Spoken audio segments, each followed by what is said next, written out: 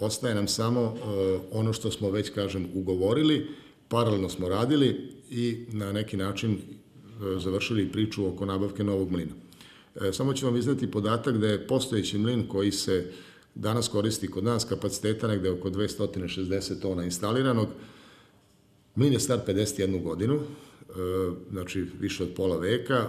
Mlin je mađarske proizvodnje iz firme koja više i ne postoji.